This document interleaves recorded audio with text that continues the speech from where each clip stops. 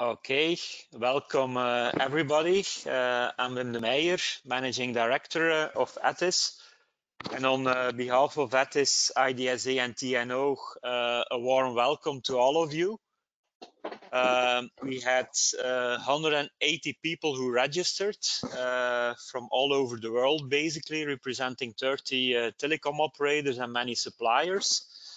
Uh, and we have uh, participants from all over the world. So uh, for some of you, it may be very early or very late, uh, but a, a, warm welcome uh, and thanks for uh, being with us.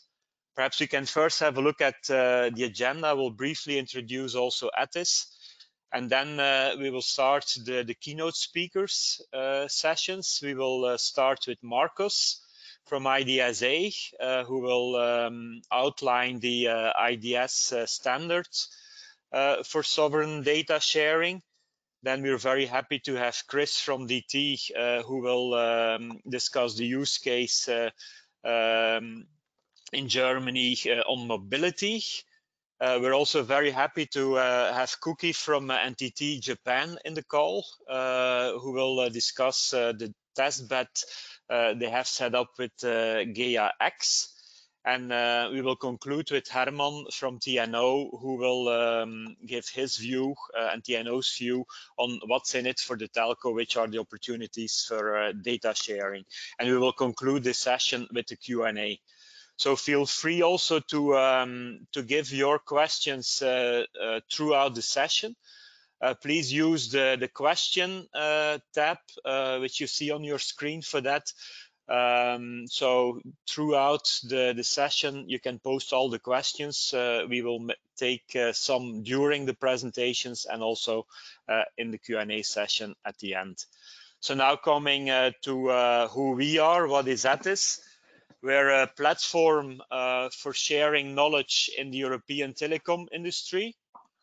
Um, we uh, really want to help our members uh, to enable reaching their strategic objectives and also improving their business performance.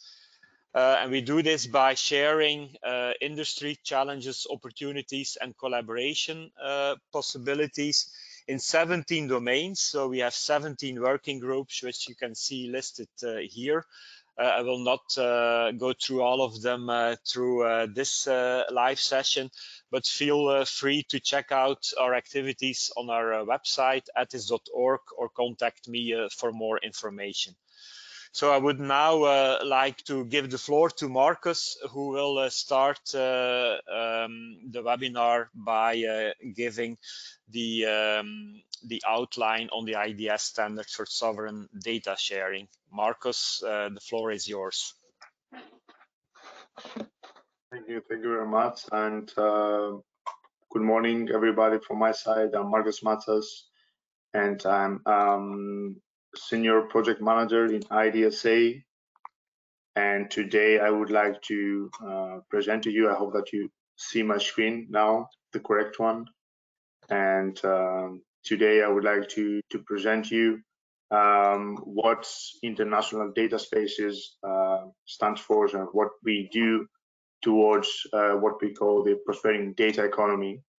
And uh, it's really interesting that uh, today um, I present in this in this event because we, we consider telecommunication as a very special domain since um, telecommunication companies are involved in so many activities nowadays and uh, in many sectors and also cross-sectorial. So uh, with their great experience in uh, specific uh, technologies and uh, areas of how to connect IoT devices and with the great data that um, is available uh, through their infrastructure, they can play a so important role in, in the data space and data sharing endeavors. And um, yeah, it's it's it's great that we're going to see also today some some examples of what kind of roles uh, these companies could play in in, in a data space.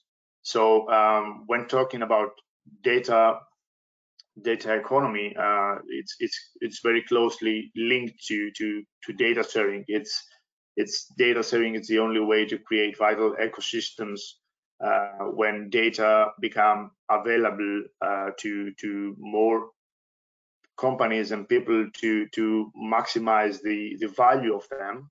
And we, as IDSA, uh, we have done some some groundwork on um, putting some some trust on this data sharing so that this can scale. And this is something that we do in the last six years as my my my colleague um, andreas presented uh, before. We are a non-profit organization and we are uh, have uh, more than 130 members representing uh, all different domains tech companies iot platforms telecommunication companies of course and uh, some specialist uh, companies that uh, contribute to this sovereign data sharing concept that we have come up with. And um, I believe that this is a great uh, point in time to to talk about um, um, yeah data spaces because this year is is the year that we're gonna see uh, data spaces come to life. Uh, so a few years ago, data spaces was a term that uh, wasn't used that often. It wasn't that known when this uh, journey began from from IDSA.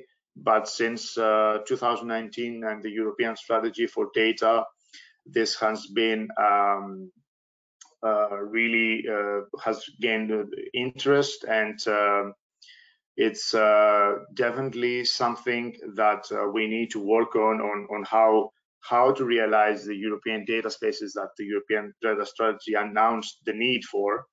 So um, how we will make sure that uh, from our side um, we will ensure trust in in this um, in this uh, in this term, and we're gonna make uh, the the um, availability of large pool of data uh, possible uh, through uh, also um, people having um, uh, a governance mechanism that they can trust on about how their data is used. So what we have come up with on that, and this is uh, what I was referring to as our groundwork, is that uh, we have a reference architecture model that uh, enables everyone to participate in a data space. So um, we enable parties to exchange data with each other. And we define for that some some clear rules that um, allow um, certain trust to be to be provided. And we uh, also provide a kind of identity management services that um, give everybody the um, the the trust that it, it's needed to know that the the other person and the other companies uh, is is trustworthy and um, you know, can can be um, can exchange data with. So um, this is um, of course what we contribute from our side with the reference architectural model, and we're going to see also later some examples on how this um, looks like in reality. So uh, even though it looks complicated on, on screen, uh, this is this is a data space. We have some some connectors, which is a key component through which the data um, travels from from one endpoint to the other. And uh, we learn from the data strategy uh, that uh, there needs to be data spaces in key sectors, and we saw how we can insert trust, least as, as uh, with these three key um, things that we insert in the data spaces.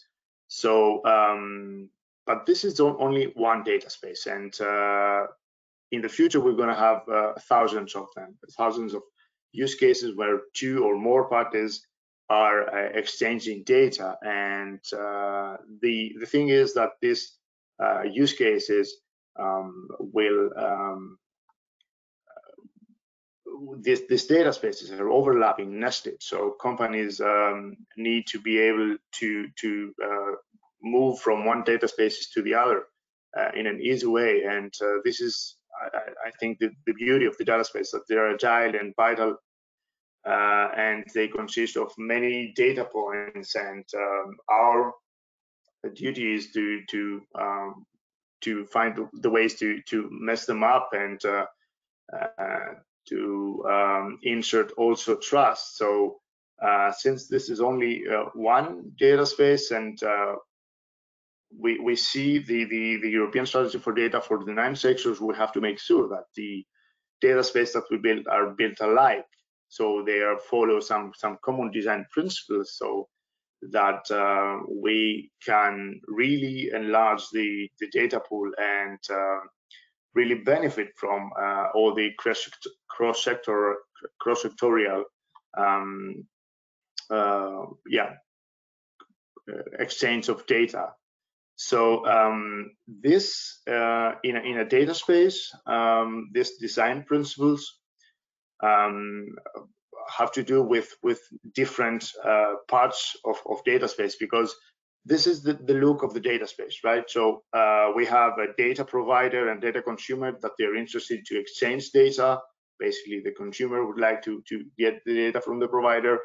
And we have some very generic components for this to happen. We have the information model that defines how um, the data are, uh, are um, uh, exactly understood from from the from the two um, parties, and we have the usage policy on how the data should be used. That is really key.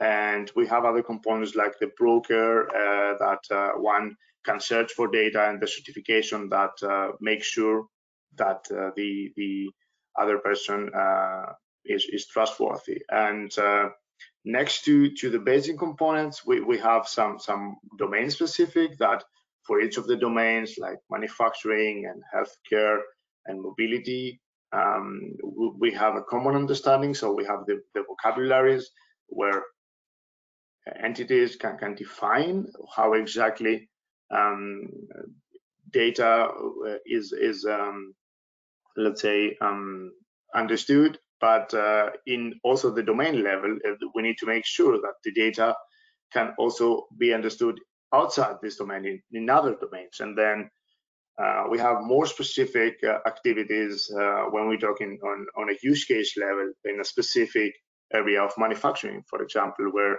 a data space needs to have specific data analytics services that can be um, in in an app store um, uh, services that that uh, can be provided in a data space. So for all of these, um, we need to create convergence that make sure we need to, in order to create converters, we need to make sure that the data spaces that will be created, the, many of them uh, follow the same rules. And uh, for this, we have built a kind of uh, some generic building blocks around um, four main pillars, which are uh, the interoperability that we need to insert, the trust.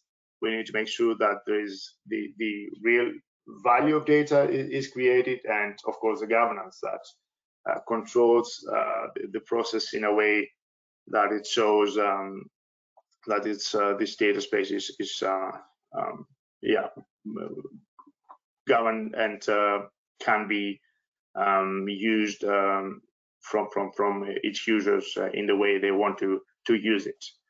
Um, and this is exactly what we do uh, at IDSA in in a level that uh, we we we um, have defined uh, how how how data space not only being built but how they can uh, be run. So um, because at the end uh, we won't have um, data spaces that would be monolithic and uh, with centralized IT infrastructure, but we will have um, uh, interoperable implementation of data space. Let's call them that. There will there will be uh, complying with uh, a set of agreements in terms of functionality, technical, uh, operational agreements, legal aspects, and so on. So uh, we, we call this soft infrastructure, and it, it basically makes sure that um, its data space uh, has some, some key things that they need to um, requirements regarding interoperability, uh, findability, the security, trustworthiness, for example, the, maintenance that will make sure uh, for the users that um, we know how, how the data space is used and that this is the, the, the standard will be maintained uh, in, in the future. So uh, this uh, are um, some things that um, um, the will make sure that uh, the data space will not only be built but will be able to to run smoothly and uh, create this convergence between uh, different data spaces that will be created so that can enable companies to move as i said before from data spaces to from one to another and so on. And um, yeah and exactly this is what we've uh, we've um, tried to to together with uh, more than 40 organizations uh, from from Europe try to put in in a position paper that was published some weeks ago on the design principles for data spaces that uh, will create this this uh, scaling um, potential and uh, will enable data spaces to be created in the same way. So um, we actually, uh, as I said before, call all of this uh, as, as soft infrastructure, the the the, the um, data spaces that uh, will work uh, based on this set of agreements that uh, will be in place. And um, yeah, this this is basically where we, as IDSA, provide our um, three key things, uh, which is the open reference architecture um, for um, for the data sovereignty uh, part on, on how data can be exchanged. And uh, we also inserted the, the trust framework uh, for data sharing with uh, through um, yeah describing some central services also like certification as uh, the fundamental part of what we call the soft infrastructure and we have the rule book that defines also this this trust framework so um, this is basically, um, uh, sorry for that, what we have in this, this uh, design principle for data spaces. And uh, I want to close a bit with, with relating it to what I was uh, discussing in the beginning regarding the different roles that uh, telco companies could play here. So um, this is again the the um, the data spaces as, as it looks uh, in in in a way, and it would look only always the same in terms of uh, what what components it consists of. And here, uh, telcos have uh, very different opportunities uh, since they contribute to many different sectors to play the roles of, uh, for example, the um, the data broker, the, the data intermediary that manages data exchanges, the data ecosystem. So uh, this role uh, knows the participants and it can control uh, how one can find data of the other and how this can be stored upon demand and uh, how the metadata about the data can be saved. And um, this is uh, very important because uh, we can see that um, there are so many different roles that the companies that have this uh, this experience of uh, of storing and managing IoT data can play. And um, yeah, we will see in, in next uh, to after my presentation some some nice examples of this uh, cross-sectorial uh, data exchange uh, and um, yeah, I'm really happy um, to to hopefully that I gave you uh, a nice overview of what we stand for as IDSA and how we, we try to contribute to the self-determined way of exchanging data. And yeah, I'm, I'm just closing with this um, statement of let's build data spaces, but uh, let's follow common design principles that will make our life easier. And uh, when data spaces grow, can simply connect to each other and make this a bigger pan-European or international data spaces where data can be exchanged freely for everybody. Thank you very much. Okay, thank you, uh, Markos, uh, for this very good uh, overview of the uh, IDS standard. And like you've mentioned, uh, it's always good to see uh, real life use cases based on standards. And so that's why we are very happy to have Chris Schlueter Langdon from DT, uh, who will uh, present the mobility use case uh, used by the Hamburger Hochbahn. So I think we will now swap to the presentation of, of Chris. Yeah, there it is. Chris, the floor is yours. Don't uh, forget to ask questions via the, uh, the question uh, tab on your screen. Um, and um, now uh, I give the floor to, to Chris. Go ahead, Chris. Well, thank you, Wim. It's a pleasure being here. Can you guys actually hear me loud and clear? Is that possible? Yes, we can. Very good, very good. Can you also see my screen? Yes, but it's not in presentation Wonderful. mode yet. I haven't switched that on yet, but you do see the first slide. Wonderful. So let me switch over to presentation. Yeah, thanks again, actually. It's really a pleasure being here today. Um, so this talk is about, it's, it's about data spaces and specifically it is about how can, how can business users benefit and even more specifically, how can a particular sector, the mobility sector, benefit from it? Uh, I'm with uh, Deutsche Telekom. I'm currently in the unit IoT. My responsibility on data analytics and mobility. And so you always wonder, a telecom company, you know, what what they they have to do with this particular topic, right? And but no surprise because telecom has been involved in in the automotive business for quite some time. Uh, T-Systems, it has a dedicated unit. Uh, it's T-Systems is a B2B a unit of Deutsche Telekom and is specifically focused in helping large enterprises to be successful in that space. And telecom has been the number one ICT provider for the auto business in Germany for more than a decade. And examples include low-cost trackers to running critical infrastructure such as connected car services backend systems, but also road charging toll systems, and now new offerings to facilitate the transformation of the auto business toward probably one that is a lot more connected, that is electrified, and that may actually be autonomous. So we are very active in that space as a telecom company to begin with. We have even our own dedicated unit to focus on mobility solutions. And, and so the unit that, that I'm currently involved with and, and trying to uh, drive forward uh, is referred to as the Data Intelligence Hub. And this is a for-profit entity. We're not an R&D outfit, but we're a for-profit entity. And uh, roughly we offer three types of services or component. And the first one refers to supermarket systems or data exchange systems. So the vision is that at some point in time, it makes sense to be more organized about data internally and even between companies. And instead of reinventing your own your own system, the idea is you just, as you subscribe to a website and configure your website, you can go here and, you know, get your data supermarket so you can put your data products on the shelf, so to speak. That's one core offering. The second offering is once you have those data repositories organized, once you want to exchange data, and this is where IDS comes involved. So we have a dedicated offering that is focused on data sharing with IDS sovereignty. And then the third one is it's it's kind of complementary offering.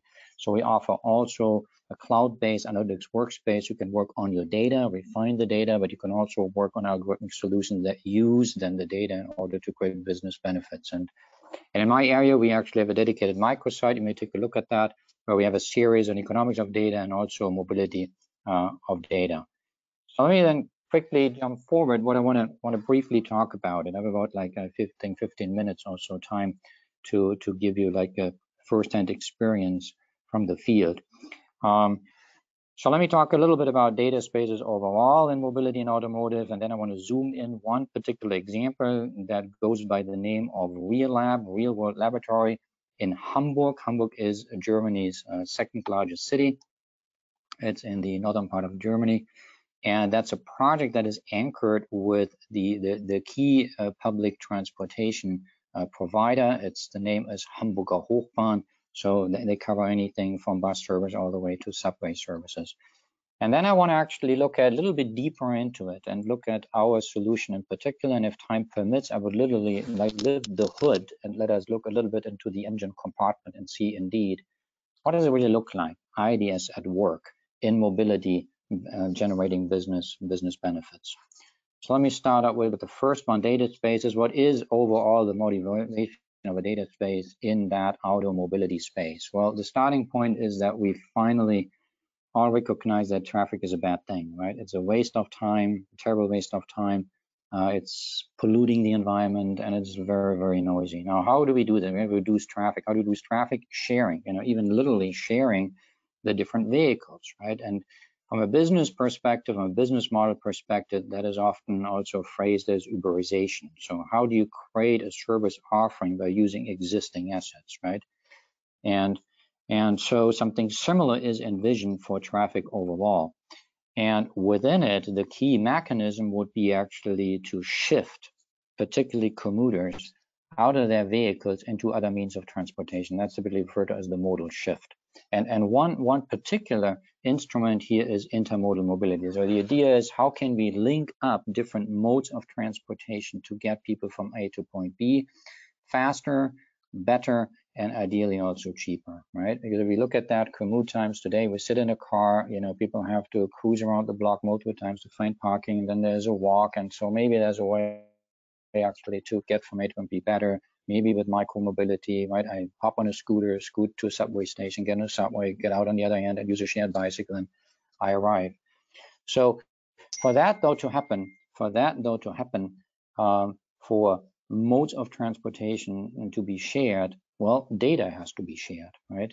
And not just across the vehicles, but also across the companies, the entities providing those modes of transportation, those vehicles. And the big problem that we've been running into um, is that well, most often they're competing with each other. And why would competitors share data with each other? So this is kind of the, the hard problem um, that we have been looking at. And one solution is now to use a data space. What is a data space? I'm using here an, an, a diagram to illustrate the GAIA-X, the effort of a pan-European hypercloud initiative um, that made data spaces very, very popular. And the core idea is that a data space that is facilitated by some some, and let me call them now federation services, by some new type of infrastructure that is sitting on top of existing existing uh, hyperscaler uh, cloud environments such as AWS and Azure, and that then facilitates a data space, which then in turn will enable new applications that rely on data sharing, just, just as this example of intermodal mobility.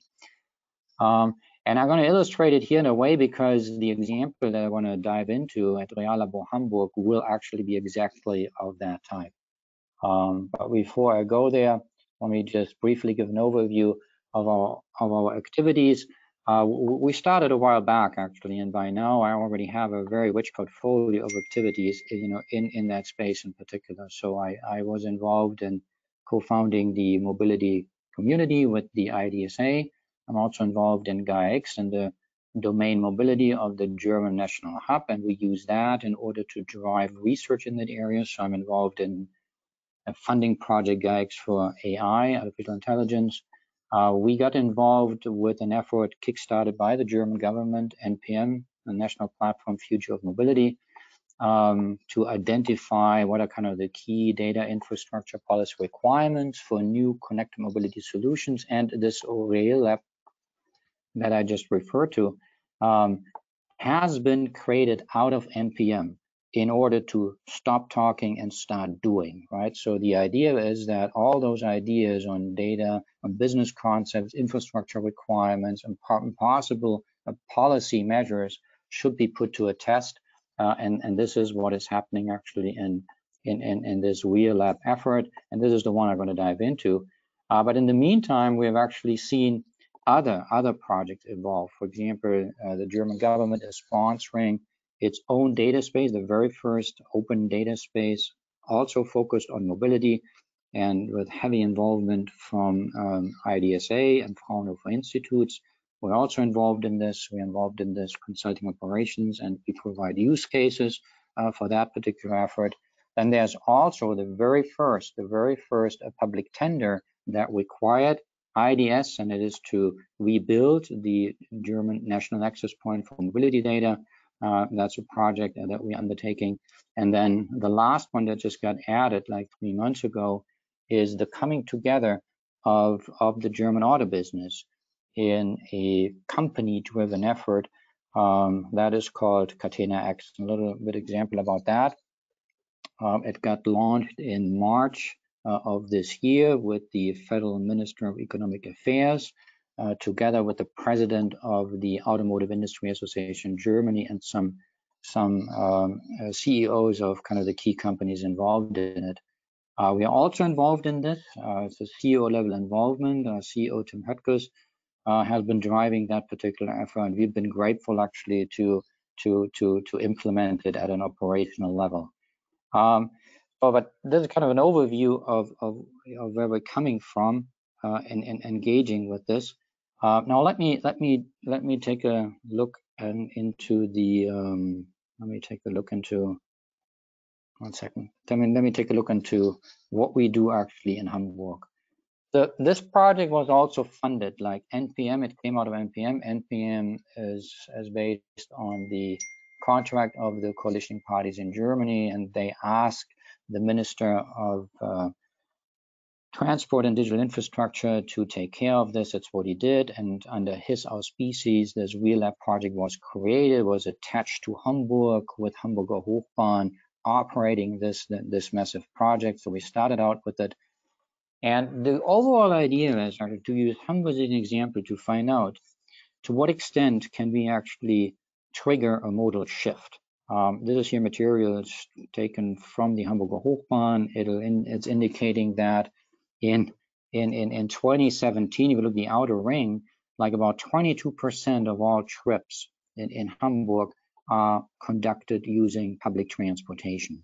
Uh, the, the, the vast majority is actually using own vehicles. So, and the key idea in the city is actually to to boost this share from 22 to 30. It doesn't sound like much, but it's a massive, actually, massive undertaking. And so the so the project that we proposed, that we proposed was to use IDS technology to facilitate data sharing, which then in turn can enable new business models. And to make it very specific, we picked actually one, one new, and that is intermodal. And and we're not just talking about it, but what we do here is we're building we're building a demonstrator. So the idea is actually to have an app that that can be used, right? So it's not by by, by ordinary people, but uh, you know for for people in this project and and maybe selected users. Um, this should be a full functional application uh, that'll help users to plan an intermodal journey. And the starting point will be in Hamburg, and the destination will be in Berlin. Intermodal means that we can have different modes of transportation for the various segments of the trip. So typically we have a first mile and there's a last mile and then there is something in between. And here we even not, not just have a first mile in one municipality, Hamburg, but we have to connect this one city with another city, Berlin. Berlin is the largest German city. So we're connecting here the two largest German cities with each other. Now, in order to make that a seamless experience, though, right, we have to we have to connect. We have to connect multiple multiple providers in here. Um, and it sounds easy, it is not, unfortunately. In order to make it very convincing for the customer, for one customer, the, the really hard problem is that ultimately whoever is going to then offer this particular intermodal trip has to get those participating companies to share customer data. And that is typically considered the most valuable data that we have. Why would anybody share data on customers, right? Well, the only answer is very obvious, and that is if it's better, right? If it, if it makes sense for business, if it's if it's a win-win scenario here, right? And and so and that's exactly the setup we're looking at. So we've also been doing together with the university, we've been running simulation studies, we've been We've been running simulation studies on intermodal travel. What we find out is that, yes, the good news is done right, you can actually be faster. You can be much faster actually than traditional modes of transportation. So, so from a user, from a citizen perspective, it will be huge value in this, right? Huge value to use intermodal there. Now, from a provider perspective, providers we're talking about, right? Providers, you know, let's say of micromobility, public service, right? You know, or other, you know, related transportation, often like new on-demand shuttles, for example, they would also benefit because, you know, we want to move people out of their individual vehicles, right? That's where the money would come from, from use of individual vehicles, actually. All the other providers would benefit if they would share, actually. They would be looking at more.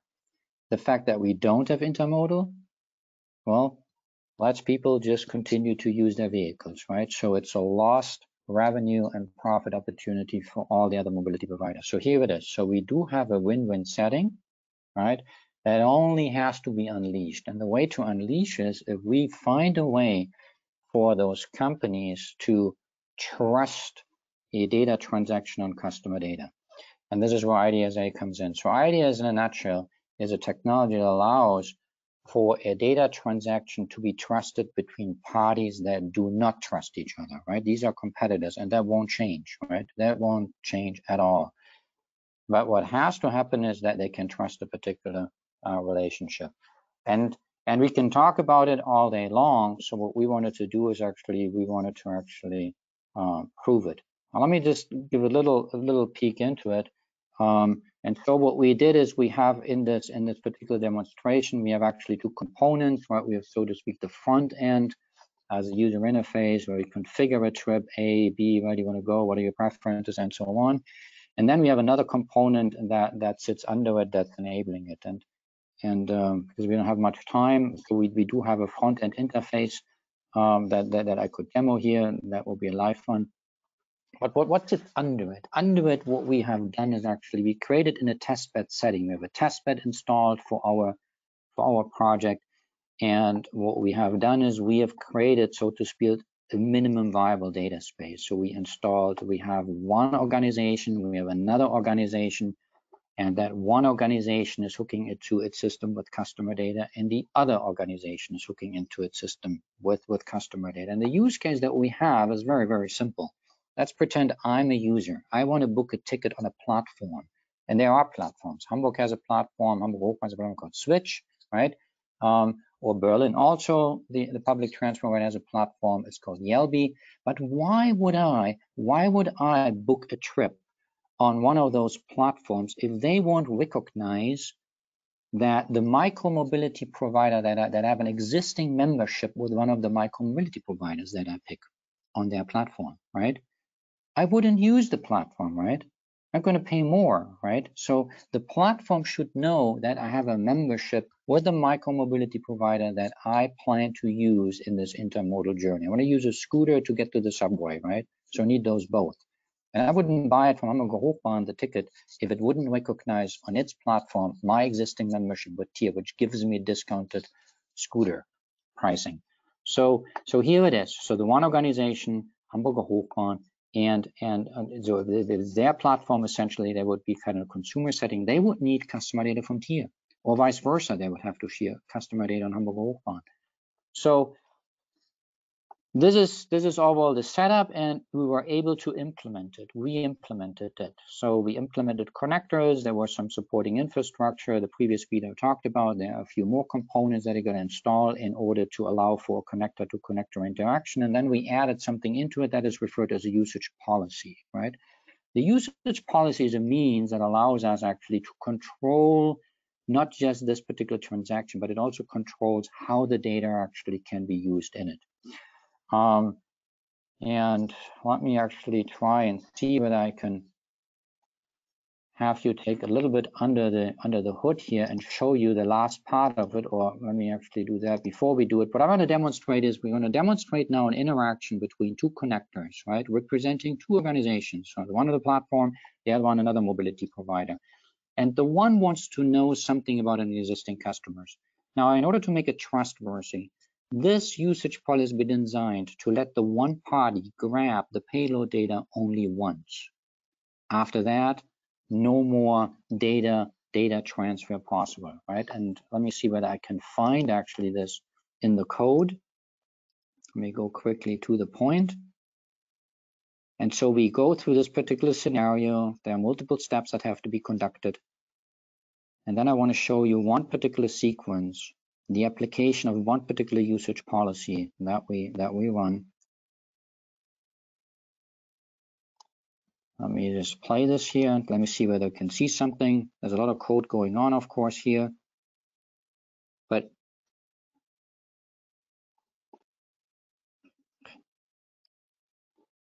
and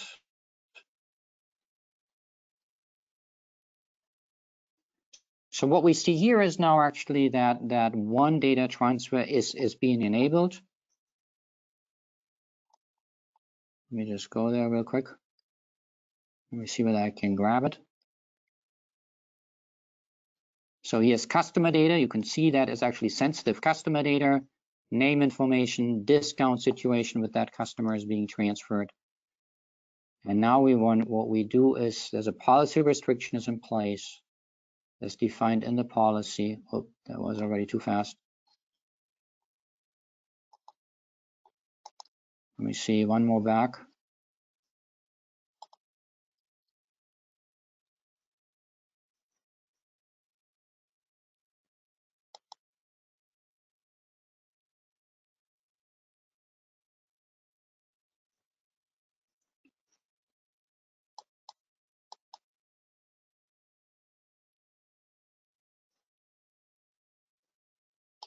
So what we see here is already the end result where the second attempt to use the payload data one more time is actually being denied because because what we had implemented in this particular setup was a so-called N-time usage policy provided in the IDS setup. So that's about that's about it. Um, that was a quick peek under the hood. So I gave the broad overview, its umbrella portfolio, a lot of activities in mobility. Um, and then within the one project, RealLab, I try to demonstrate how we, how IDS technology and usage policy in particular can enable a win-win business scenario that has so far been prevented by the lack of trust in a particular data transaction here. And back to you, Wim.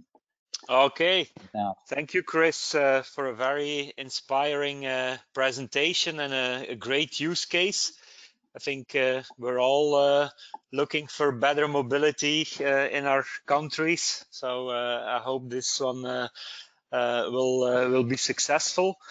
Um, and um, another question um, we have with data sharing is obviously also cross-border data exchange.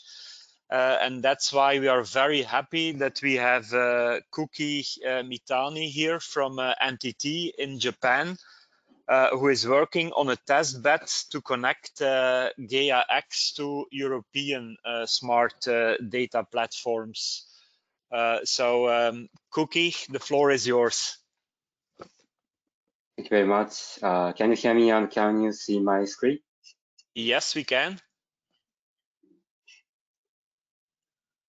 You very much.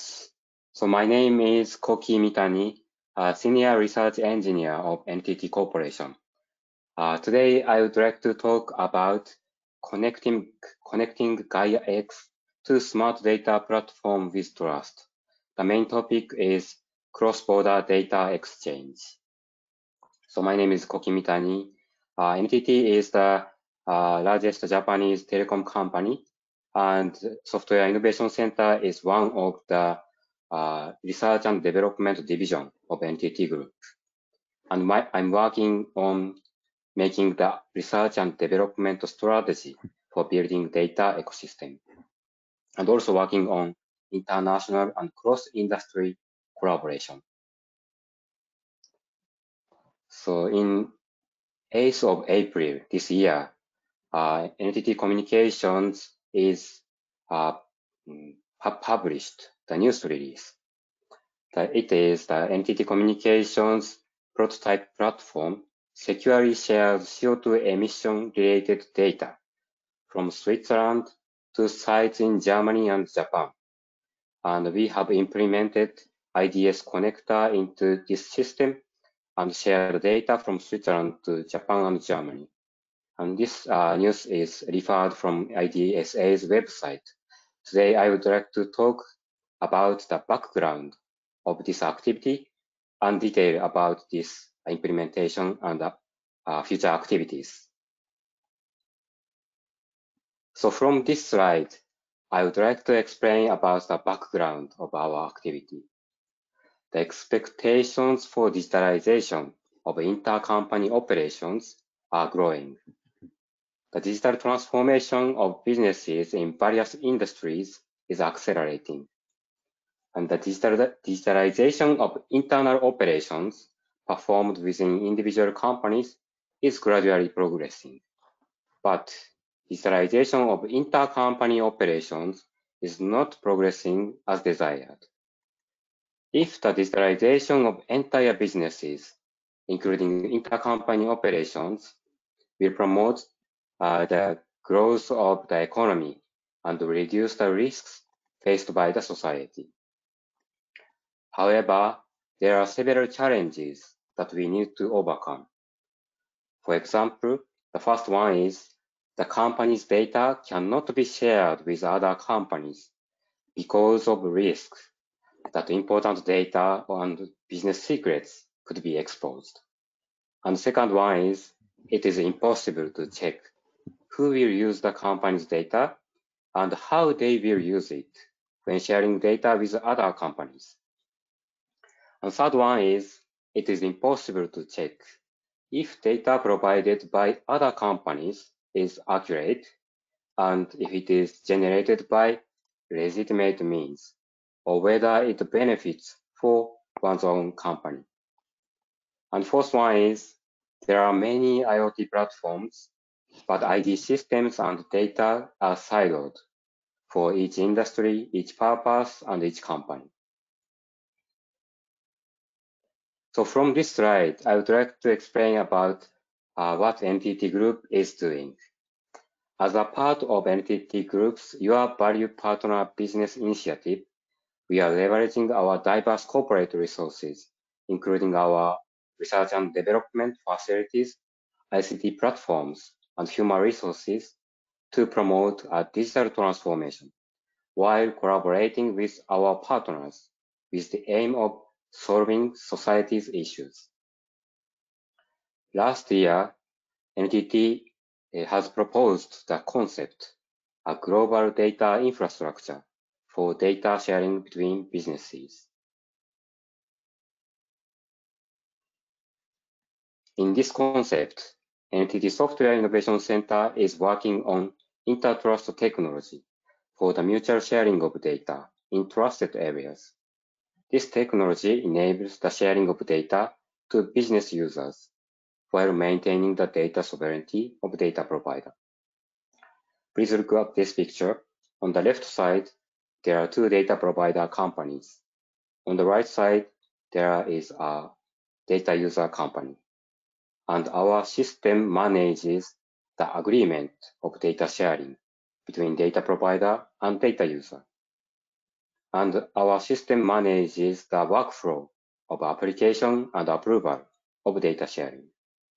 And our system applies data sharing conditions to directly to the data flow, which is shown in the uh, this picture by red arrows.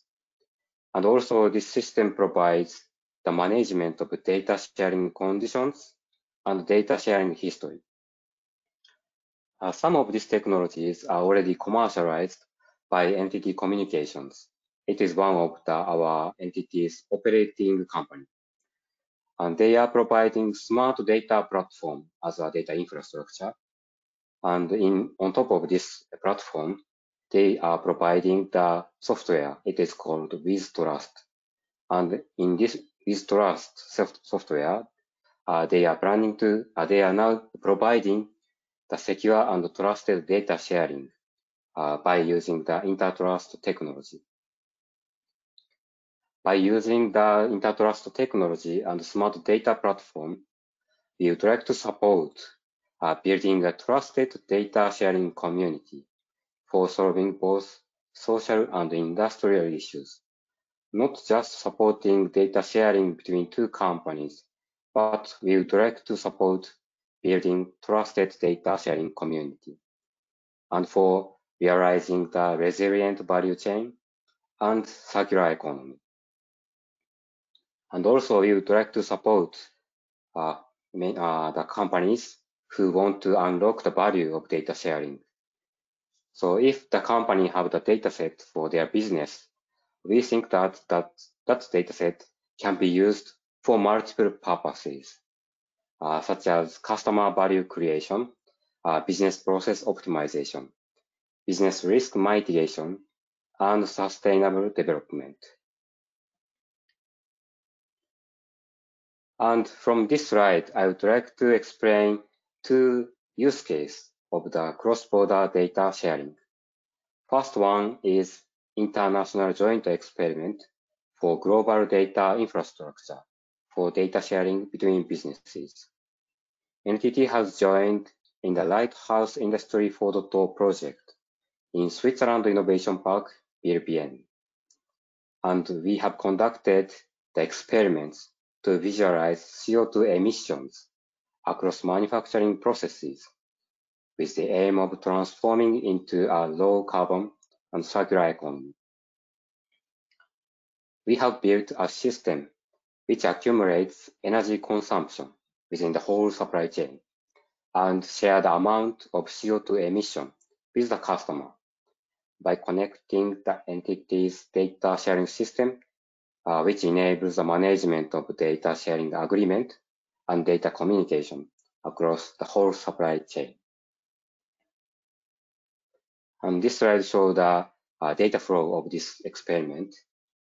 First, the customer orders the customized product uh, by website, and that order will be sent to the production processes, which is operated by uh, different companies. And on the right side, uh, the NTT's global data infrastructure collects data from uh, each production process from each company. And uh, in this data sharing, we have applied the data, con uh, data sharing condition for secure and trusted uh, data sharing. And after that, uh, we had the uh, aggregated the energy consumption data and calculate the CO2 emission, uh, the amount of CO2 emission, and provide it uh, as a CO2 emission certificate for the customer of that product. And from now, uh, uh, after uh, doing that experiment, we, we are planning to expand this activity. And next, we would like to start the new use case for realizing circular economy. Uh, because we think that realization of circular economy can be accelerated by secure and trusted data sharing across industries. Uh, in this picture, on the left side, there is the flow of biological materials. On the right side, there is a circular flow of technical materials. And from uh, as a next experiment, we are planning to use the, this uh, right side flow, the remanufacturer flow. Uh, we would like to da collect data from supply chain and also uh, reuse that data for remanufacturing. This is the uh, current plan for next POC. Uh, from this slide, I would like to explain about second use case. Second use case is about uh, to the cross-border data sharing. For cross-border data sharing, uh, we need to consider about the global trends in data sharing between businesses and businesses, governments, and international organizations around the world are increasingly involved in discussions of strategies, architectures in order to promote innovation through data sharing. However, concerns are being raised about the risk of data being placed under the control of platform operators or data being used by national authorities.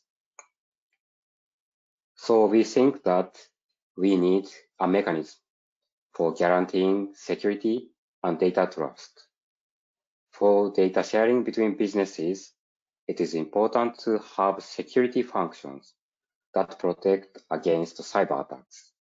And also it is important to have the functions that protect the data sovereignty of data providers in accordance with laws and regulations. And in Europe, uh, last uh, in October 2019, the governments of Germany and France announced the concept of a data infrastructure. It is called Gaia-X.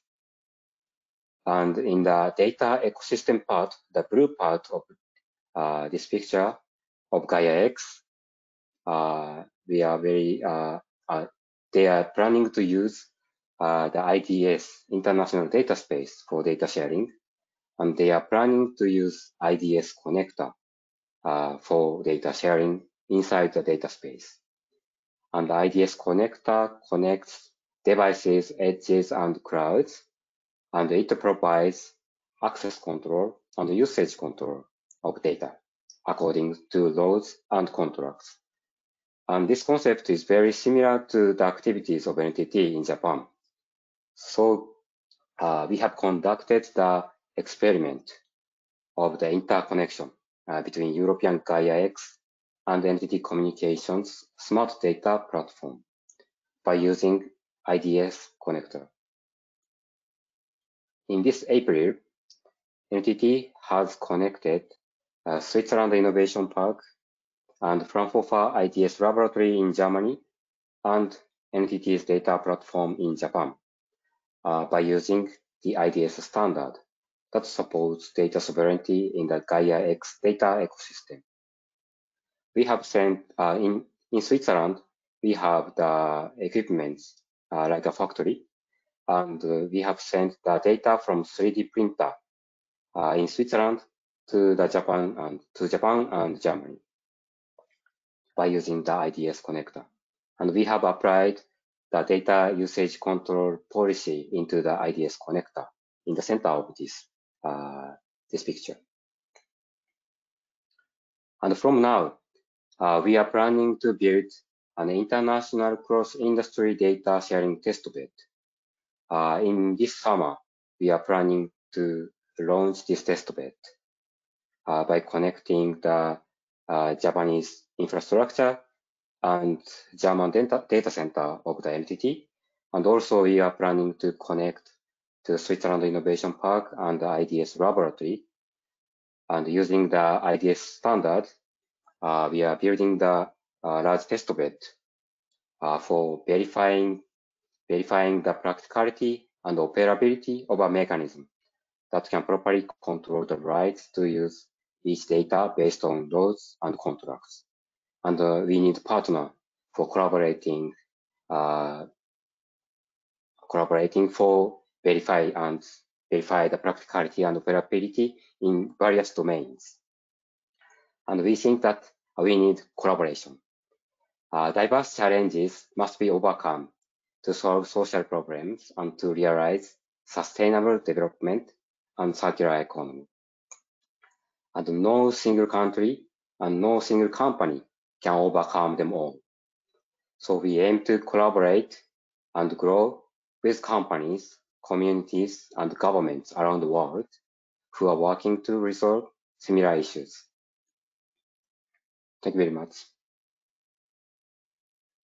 Thank you, Koki, uh, for this uh, very inspiring presentation uh, containing use cases in manufacturing and also uh, uh, opening up cross-border data sharing. And thank you also for your uh, proposal to, to collaborate.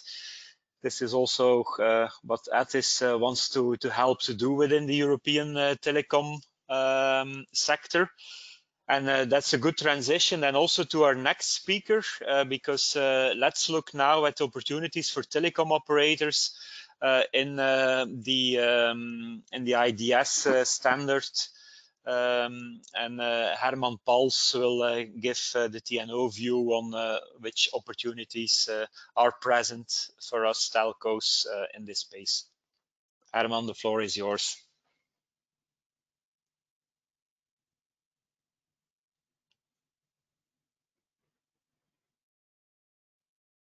I think, Herman, you're still on mute. Yes. Ah, there you are. Go ahead. And do you see my screen? Show. Not in presentation mode.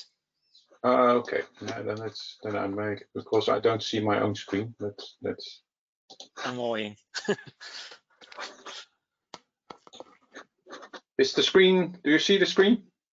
We see the screen, but it's um, not the, the presentation mode. We see all your slides and uh, the first slide in, uh, in a bigger still, size. Because I've set it now on presentation mode. Maybe it's somewhat slower. But... It's still like that.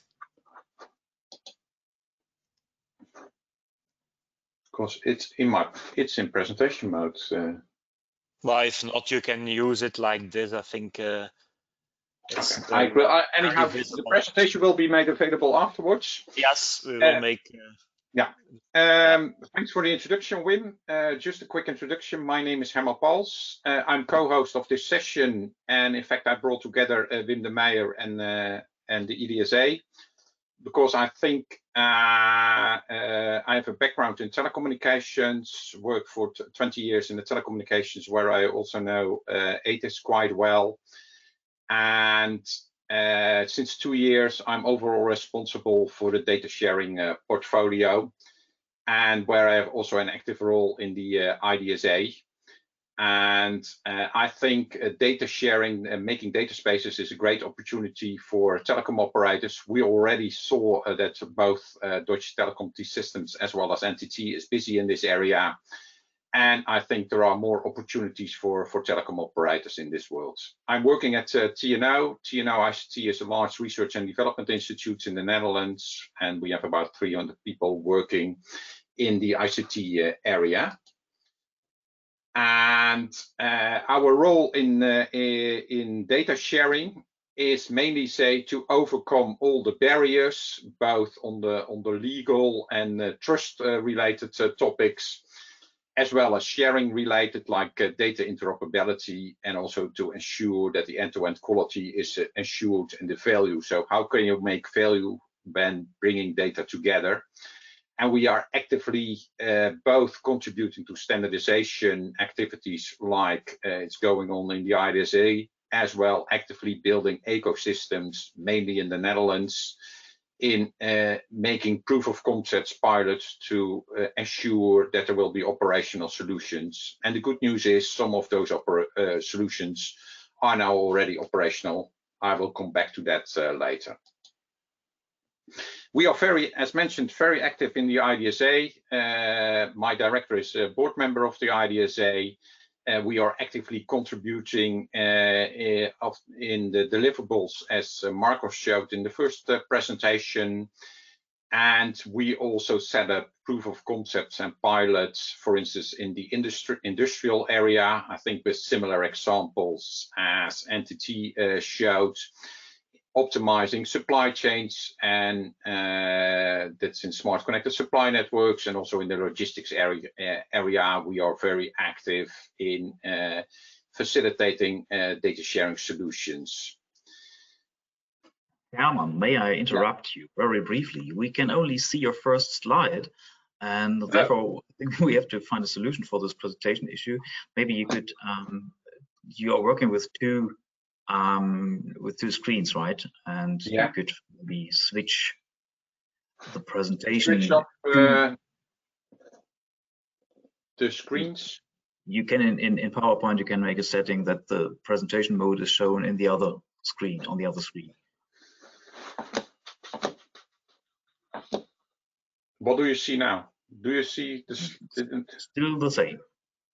Or you could just even go to the work mode there and, and go there. the screen is paused. What do you see? Yeah, now we have slide number five. Yeah. And if I put it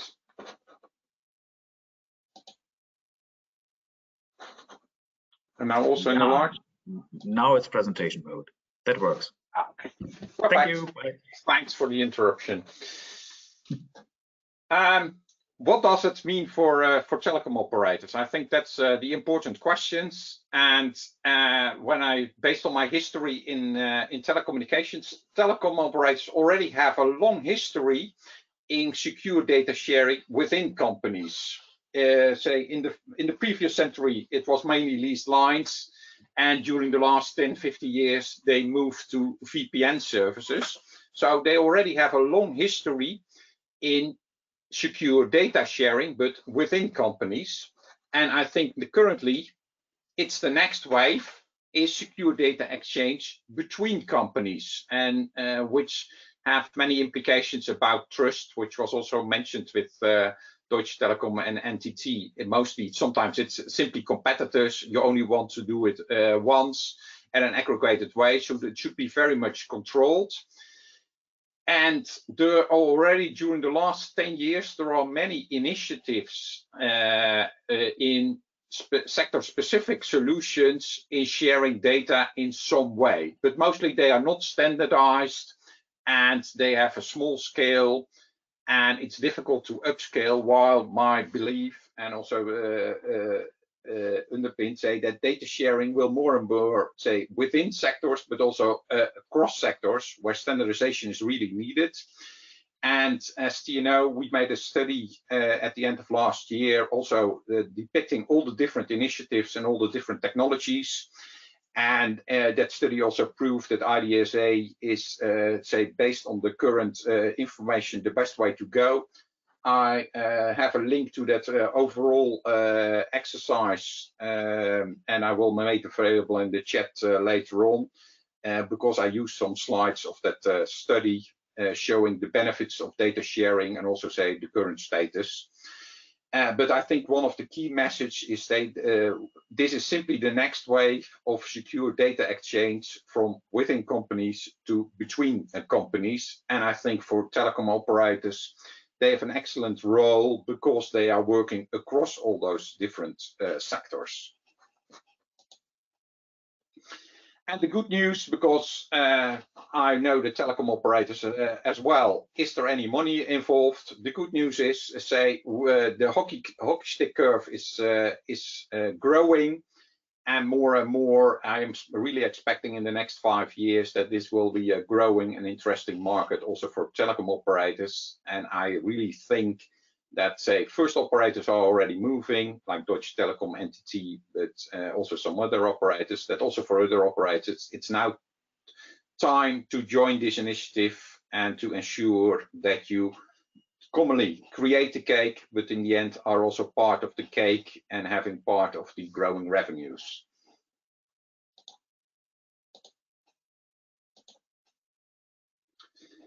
Uh, as already mentioned, say, uh, and uh, depicted in many other presentations, IDS, uh, International Data Space, delivers an excellent framework to uh, build standardized uh, data spaces. And already many companies are involved, both for potential customers as well as providers in this area. And IDS de de develops a, a secure and end-to-end -end, connectivity for a secure data exchange, also uh, enables a trust framework so uh, that you know with whom you are going to share data and that there is a governance uh, uh applicable uh, in, in that area. And this picture was already mentioned also, I think, in various other uh, presentations. There are some basic components. And I think for telecom operators, uh, this is also an excellent way of playing a role in uh, in this ecosystem. Um, you always have, say, a data consumer and a data provider. So a party would delivers and is willing to to sell, or not, uh, say, depending on the business model, to deliver data, and there are parties who wants to use that data. And there it's crucial that there, in the end, there is a secure connection between the data provider and data consumer. It's not necessary uh, via uh, an intermediate platform. It can be also uh, a direct uh, connection between those uh, parties. And there are supporting roles uh, like uh, a clearinghouse for the billing, uh, uh, a broker service provider to, to know, for instance, where can I find which data. Say for telecom, say historically, you have experience in phone books. Of course, also for data, you need the kind of phone book services. And of course, there will be many parties who will deliver uh, additional services on top uh, of uh, the data exchange or can provide. So you can also create a kind of marketplace and an app store uh, provider. And of course, say what's the crucial part is the identity uh, provider and access control to the uh, to the data and that's basically say you as a telecom operator you can deliver say a secure access to the data space just as you now deliver, say, uh, uh, internet access, but then in this way, in a more uh, restricted way. So for telecom operators, I think why is the crucial role? Uh, there are already some parties starting up, but I think telcos, the benefits of telcos, they perfectly understand those kind of business models. They are working across all kinds of, uh, in, in all sectors. So they can also ensure, because the first wave will be data spaces within a sector, but definitely say, uh, if that's in somewhat arranged, there will be requests to have data spaces across sectors. And for instance, logistics is also a part, say, which is uh, highly related to, for instance, industrial parties, because in the end, if you in the industrial area, you have to bring some of those industrial equipment have to be in a logistic way moved from one part to the other part. And um, so across all sectors. The good news, IDS is uh, standardized, and what's also showing by uh, by NTT, uh, there is a high need of interconnecting data spaces, and that's a kind of business where traditional telecom operators have a huge experience in, say, back-end collaboration. Uh, in interconnecting mobile networks, in interconnecting uh, VPNs, and also in this area, uh, interconnecting data spaces will be one of the cornerstone to, to get sufficient scales.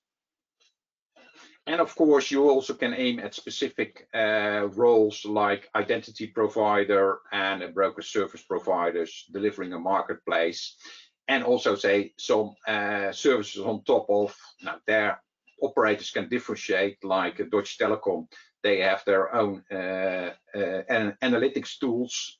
Yeah, and then you are providing value-added services on top of basic services. And uh, I think the good news, uh, it's a, a fast-growing uh, ecosystem, ID, IDSA, and uh, so there are many parties already involved. And uh, the first implementations of uh, IDS uh, are already uh, almost operational. As you know, we are uh, very much involved in what they call smart connected supply networks, where they optimize, say, the uh, value chain in the industrial area, especially in, in the Eindhoven area. Parties fully realize to stay competitive with the Chinese and uh, American uh, industrial parties, they have a way of collaboration, exchanging information while staying, say, not hiding their competitive uh, information.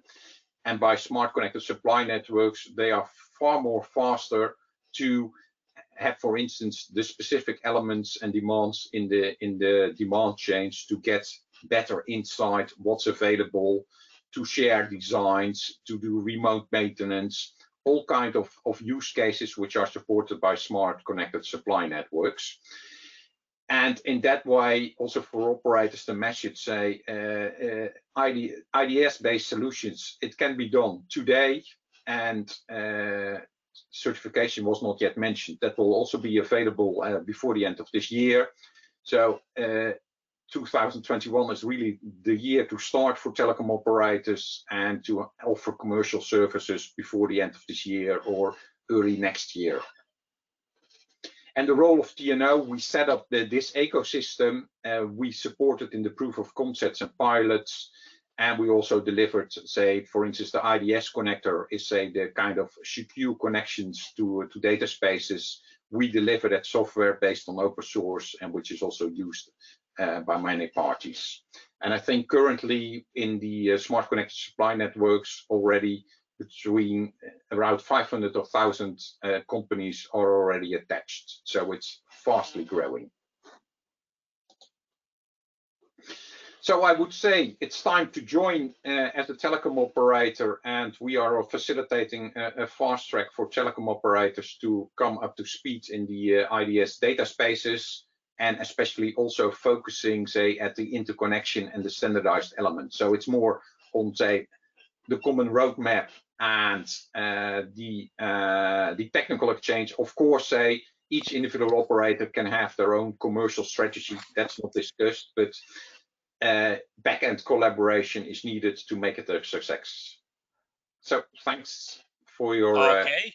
Uh, Thank you, Herman, uh, for uh, outlining uh, what's in it for uh, the telecom uh, sector. And I think it's a, a good time to, um, start the, the Q&A.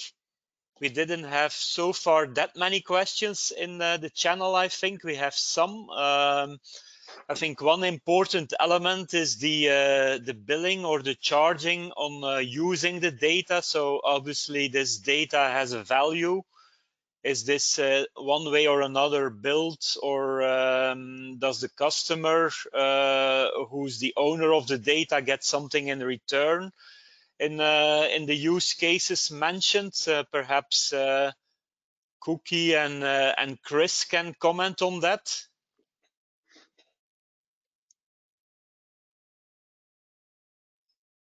Uh, hello, uh, I'm Koki from NTT.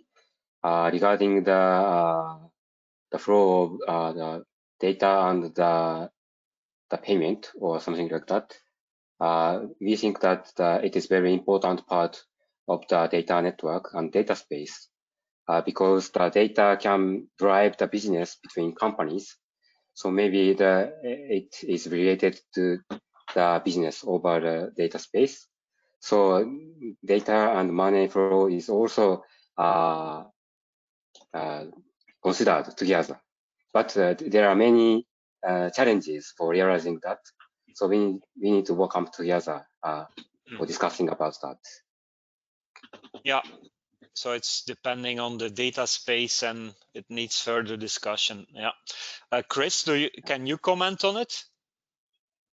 Yeah, we are currently pursuing what is possible in essence. Um, so we do see an opportunity, of course, you know, for payment infrastructure, for example, but uh, we also believe there are already some opportunities um, that that that can be explored and even converted into a true business uh, without a payment infrastructure required. Okay. Uh, there was a question related to uh, ETIS and uh, our role. So we're not um, a marketplace uh, of uh, IDSA. So just to clarify that, perhaps it was confusing when we talked about a platform. But basically, we are an association exchanging use cases and best practices among telecom players. So we we do not have an active role in in sharing uh, data in the sense of uh, the topic of today. So just to make that sure and clear. Um, so I'm not sure we have other questions in the um, in the Q&A uh, yes. channel. We have one Perhaps question, on, and yeah, I think on, this is this yeah, is a very good. You? Yeah. So the one question is very simple. Um, um, is the IDS certification um, considered for platforms or for technical providers? So the answer is um, is a bit different. So components in a data sharing ecosystem can be certified, such as a connector, but also organizations can be certified. And uh, but Markos, I think you are the right one to to give an, a better answer on this. Yeah, Andreas, I think that um, yeah, you already gave the the overview. So this certification is about the the um, parties uh, in a data space that want to exchange the data and how their components and their organizational environment uh, can be certified uh, that uh, from a third um, body that uh, they are mm, able to, to share data with uh, the, the trust that we also insert. So it's not for the technical provider that would provide, for example, a service or uh, be a broker, but it's for the participants that want to uh, exchange data. Okay. And maybe yeah, maybe Chris here again on this one. I, I think if you want to use it internally, I think it'll be all fine. Uh, we've been running into the certification issue, the certification actually being something very desirable.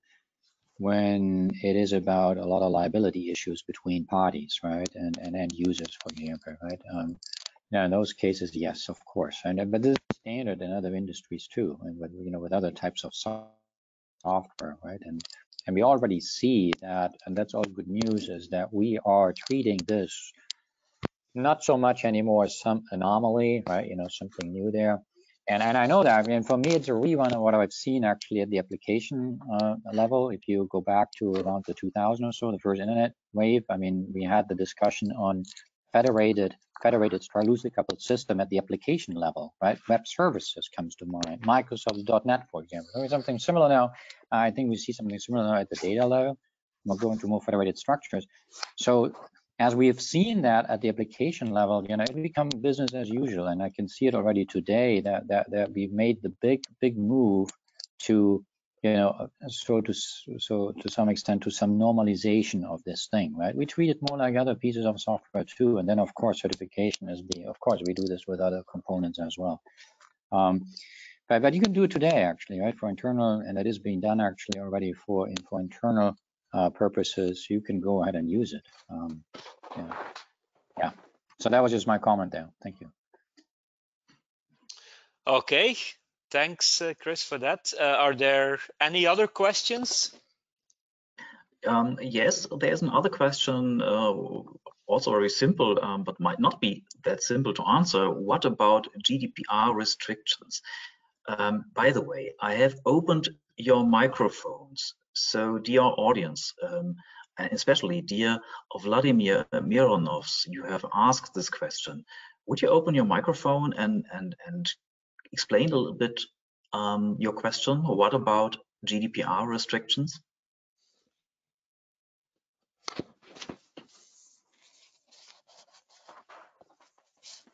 Otherwise, yeah, that is open. Yeah. Okay.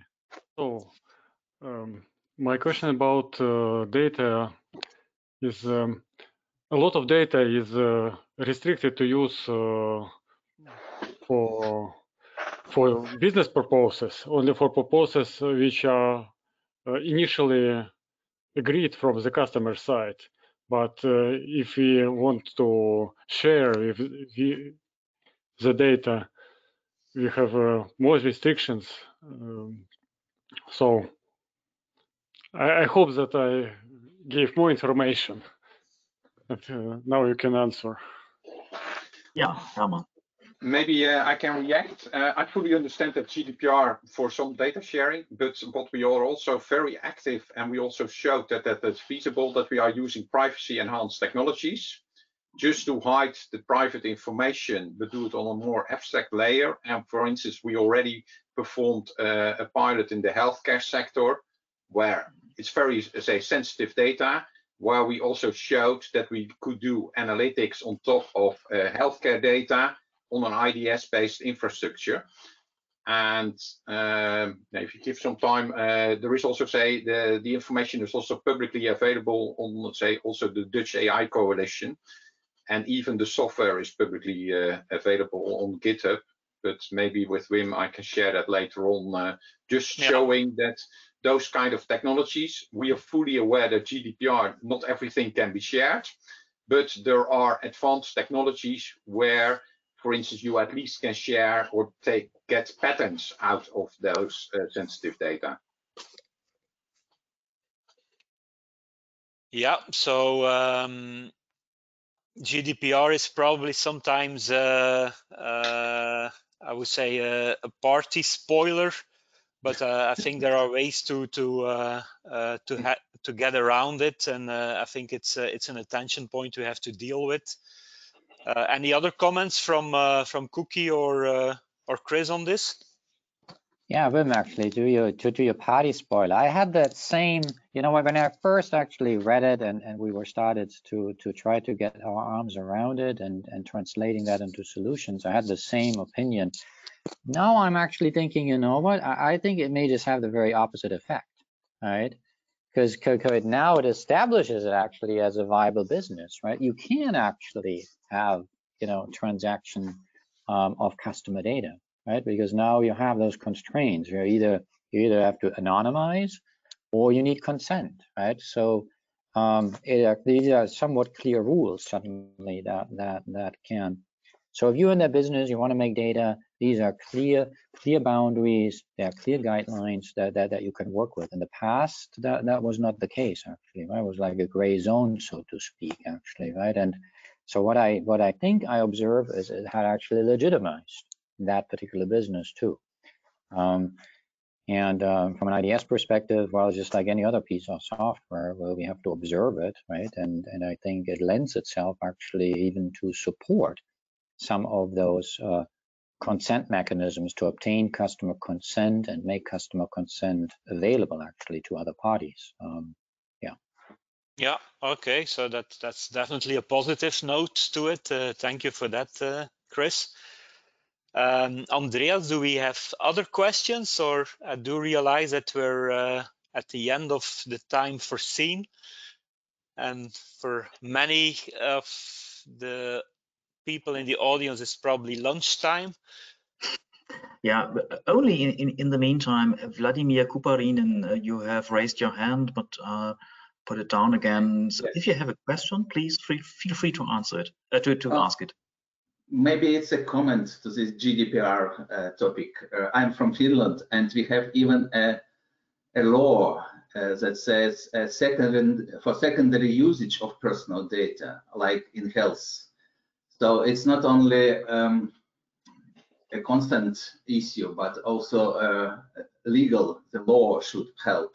And also we have in Europe PSI uh, directive that like uh, uh, demands from public services, for example, to open uh, APIs for for connection, for sharing the data. So we should think about this. It's not only like uh, initiative, but uh, it's uh, obligation of companies and public services to help citizens to to receive benefits from data sharing. Just a comment. Thank you. Okay, thank you for that perhaps it's a good time then to uh, to end the uh, the live session. Uh, but before doing that, uh, I would also like to uh, mention that ETIS is organizing a gathering in Rome in October. We will send you an invitation uh, for that. We can definitely discuss the progress on on what we discussed today over there as well. And then hopefully in a in a physical way. so I think everybody is is a little bit fed up with webinars and uh, live sessions. So hopefully we can start to meet uh, again uh, in person. Um, but before ending uh, this call, uh, I would also like to thank uh, the speakers, Markos, Chris, Koki, and Herman. And I also want to thank warmly Andreas from IDSA for helping to set this up, as well as Herman from, from TNO, who was also a great help. So I hope you enjoyed uh, the live session. You will get the slides uh, via mail and we will also provide you with a link to the recording we, we have made uh, so you can uh, watch it again or share it with colleagues. Uh, feel free uh, to do so. So thanks a lot. Uh, enjoy lunch or perhaps for Koki it's dinner probably already. Uh, and uh, we'll be in touch soon. have a great day. Bye-bye. Have a nice day. Bye, nice everyone. evening to Japan. Thank you. Bye bye. Bye bye. Thank you very much. Bye. Bye.